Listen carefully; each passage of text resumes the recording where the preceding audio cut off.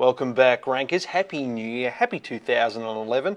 And if you didn't know it was 2011 and Happy New Year, you've just woken up from an excellent party. Now, what did our staff members get up to over Christmas? Well, a lot of people wonder what the Googlebot actually looks like. So we had a staff member do a rendition of the Googlebot for us after it had been to our site. And, and this is what it looks like. So you can see there quite clearly that it's just been to our site because it's you know covered with our logo. So that's our very creative staff member Annette. And it's not safe to work without it, as I've said before. Right. A lot of bitching and complaining still from our major re retailers in Australia about uh, retail sales. Well, you know, retail sales are up all around the world, in the Western world anyway. They're up in the US, they're up in Canada, they're up in the UK. You could say, well, that's because, uh, well, why is that? Well, the reason for that is, is that retail sales have not slumped, um, except in Australia, because of the Australian dollar. It's got nothing to do with this nonsense that our major retailers are talking about, which is that people are avoiding the GST. And to prove that, there's an article today in the Sydney Morning Herald, which is a follow-up article from David Jones, Harvey Norman, Myer, our big retailers complaining that there should be a GST exemption, and the Productivity Commission is doing an investigation into that at the moment. And very annoyingly, Fairfax is choosing to play a video, even though I've said not to. Thank you, Fairfax. But this story just goes into you know some comparisons of online pricing, and the story is all about how you know the, the, the retailers are saying the GST is the problem. But if you look at these prices, the GST's got nothing to do with it. GST is 10%. You look at this uh, KitchenAid mixer. David Jones, it's 800 bucks online. They've found a price of $453. Now, admittedly, all the ones they've chosen to use here are all overseas sites in this particular article. However, if we take this this book here, this hardcover book, at uh, Borders, it's $33. We go over to Fishpond, the exact same book, hardcover, is uh, $28. And certainly, so, you know, you, you can certainly still get um, big price discounts by even buying locally. Let's go across to David Jones. Now, their particular online sales system uh, is one where they, we used to talk about brochureware uh, in the olden days of web design, saying, well, your site's really nothing more than a brochure. Well, uh, David Jones have literally done this. They've actually turned their brochures into their website. So if we have a look at their brochure of that's currently up there for, say, an Apple Mac. Uh, Apple Mac, iMac 21 inch, uh, $1,449, right? We go do a quick search in Google, iMac 21.5 inch, $1,100. I mean, that's a that's that's more than a 10% saving. It's not the GST. And if we have a look at this one, which is nearly the same price, we see here it's got a one terabyte hard drive. That one in the catalog only had a 500 gig hard drive. So it's not just the GST. It's the strength of the dollar and the fact that our offline retailers don't seem to be doing as much price matching as uh, all the websites around. And this is what the, I don't know whether I, I, don't believe that they're failing to grasp this our, our, our, major retailers, and that is is that when you're when you're researching a product or service that you're going to purchase, which 95% of us do through Google, uh, you're going to look for the best price usually and the best deal, right? That's that's why you're at Google.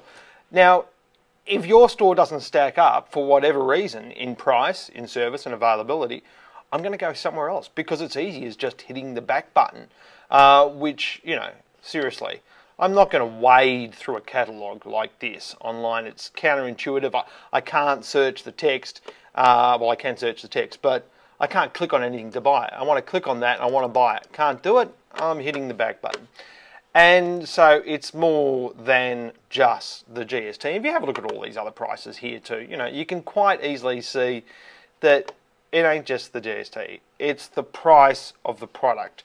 So this exemption that our offline retailers want for um, uh, GST for $1,000 uh, for, for purchase up to $1,000, uh, I think is just a little bit disingenuous. Um, don't get me wrong, I don't mind paying less tax, but uh, the reasons they're stating that online is somehow um, scamming the system is really a nonsense, and the data shows that. Our two uh, two of our SEO developers, Supergen on Twitter, and of course Kriti, have uh, pointed out to me that 302s seem to be getting treated slightly differently at the moment in Google. Now, this could be a test. This could be one of Google's live tests that we're seeing because we're not getting consistency in this. But what Jen uh, discovered with one of the sites that she was working on that um, when she clicked on a, a result in the SERP, that was a, uh, a 302 redirect, meaning that the Google had indexed the page, but that page was now getting temporarily redirected to another page. She got this result and it was, and we've tried it. I've spied this morning, uh, Senator Stephen Conroy's website, and it's full of 302s. Like you know, I've lost count of how many 302s. I've got a, a bot running here, a spider running here on his site, uh, on the old trusty Dell machine, and it's it's been going for about three hours, and it's in a bit of a loop, and it's finding a lot of 302s. But a 302 is a temporary redirect, and what the guys have discovered here this morning is that Google, in some instances, is saying, hey, this page is getting 302 redirected to a different page than the one you actually clicked on. Are you sure you want to go to that page? And, you know, Matt Cutts, Google's uh, senior anti-spam engineer, has, uh, you know, said towards the end of last year on Twitter and a few other places that they're going to be working harder on eliminating cloaking and spam from the index, and and certainly cloaking is is the uh, the idea that you will send the bot to a particular keyword-rich page, but you might send the user to a totally different page. That's that's cloaking at its most simple. But what we're seeing here is any URLs that are 302 redirected and actually have um, ampersand in the URL itself, like we can see it right here, and it's 302 redirected, you're going to get this redirect page. And then when you turn to return to the visit, return to previous page, what has been happening, it's been breaking, it may not break today. Yeah, it's been it's crashing the tab basically. So Google is doing some sort of test. We can only get this to work sometimes.